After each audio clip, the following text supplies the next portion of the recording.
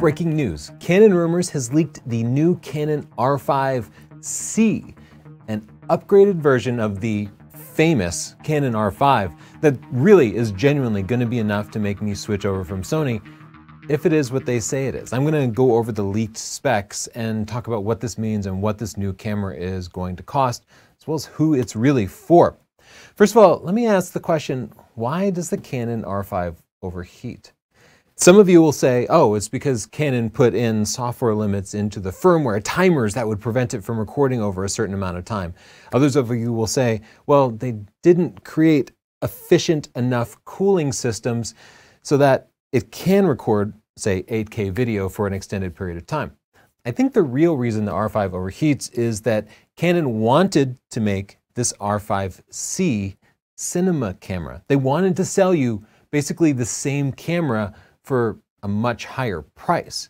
And this makes a lot of sense if you're the number one camera manufacturer, which Canon is. Canon's primary competitor is themselves. Their cameras compete against each other more than they compete with any other manufacturer. Canon's afraid of something called cannibalization, which is a business term that means that you create one product that actually steals revenue from another product, meaning you put a bunch of work in to make something new, but you have net zero on the revenue.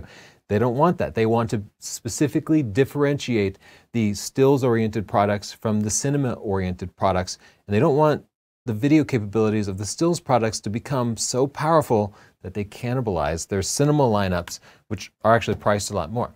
Now, Canon has made a cinema version of a stills camera in the past. In 2013, Canon released the Canon 1DC for $15,000, and that's 2013 dollars. That was almost the exact same camera as the original Canon 1DX, which was $6,800. Some people said the hardware was identical and the only difference was a firmware update. Other people said there were a couple small tweaks, but either way, they had the same sensor, the same body, and they were near indistinguishable.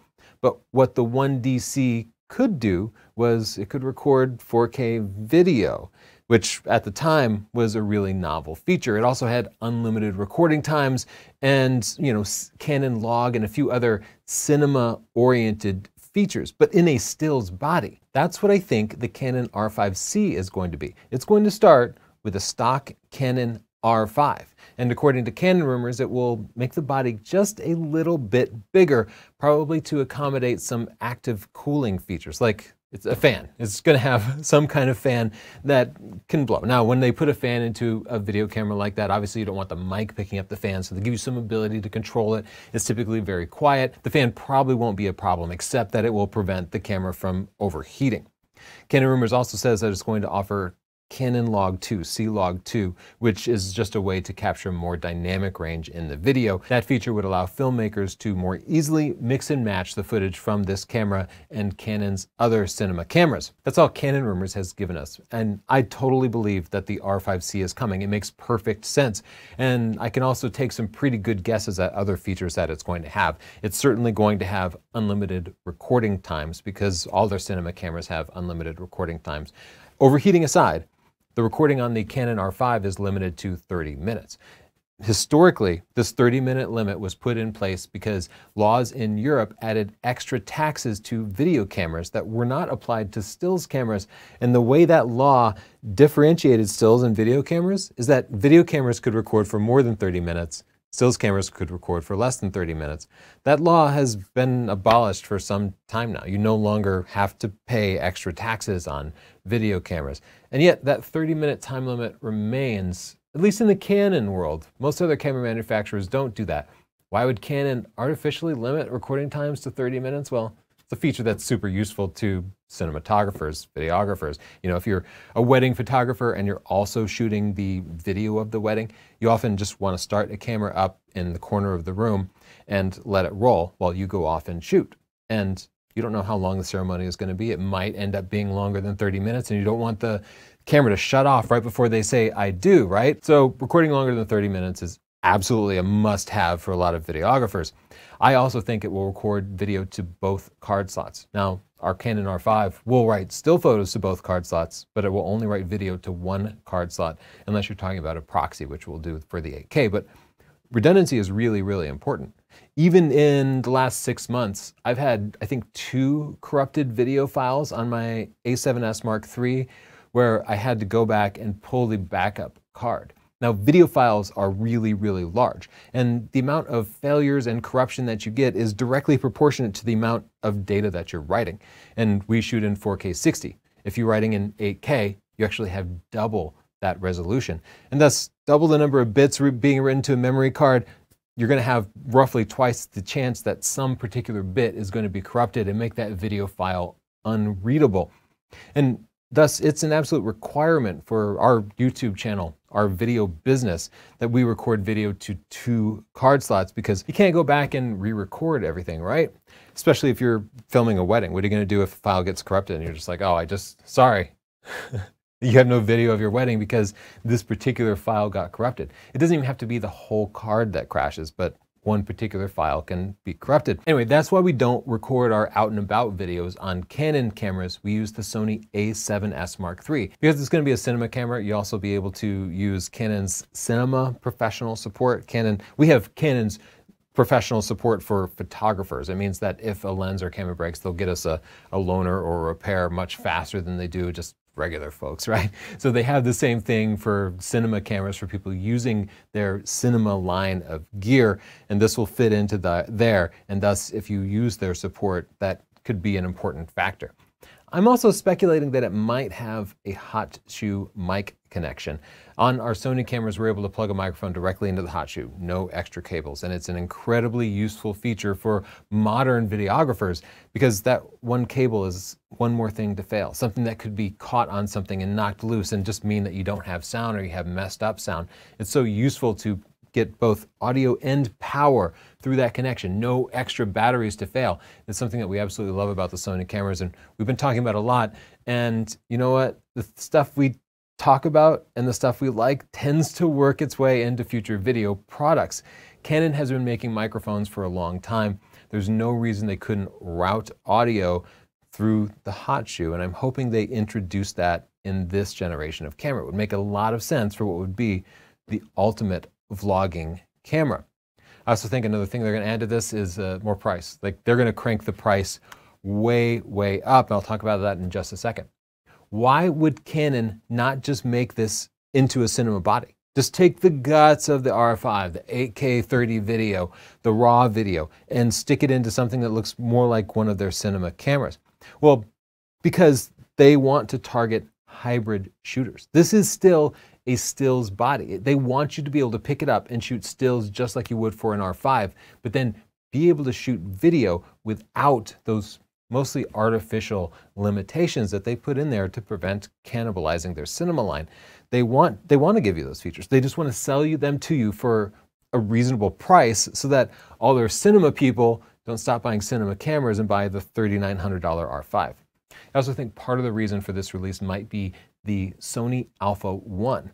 Sony Alpha 1 seemed to very directly target the R5, especially in the video realm. It had 8K 30 frames per second, 4K at 120 frames per second.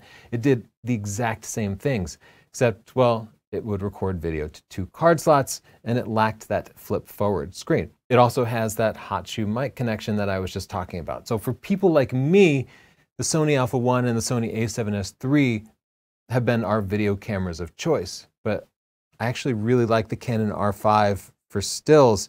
And when I travel, I would love to be able to travel with a single camera that can do everything. Because right now, my travel gear is a Sony Alpha 1 for shooting stills and a Sony a7S III for shooting video. And if one of them fails, I could grab the other and use it, but in a severely degraded fashion, because the A7S III isn't nearly as good for stills, and the Alpha 1 isn't as good for video without that flip forward screen that creators like myself really need. The Canon R5C could give you the best of both worlds, the best video camera capabilities with really the best stills shooting capabilities. The R5 costs $3,900 and Canon is definitely going to charge way more. I'm not sure what that number is going to be. My guess is they're going to exactly target the Alpha 1 price at $6,500. Doesn't match the Alpha 1 feature by feature. The Alpha 1 shoots 30 frames per second and it has an integrated wired Ethernet adapter and a few other features that the Canon R5 lacks.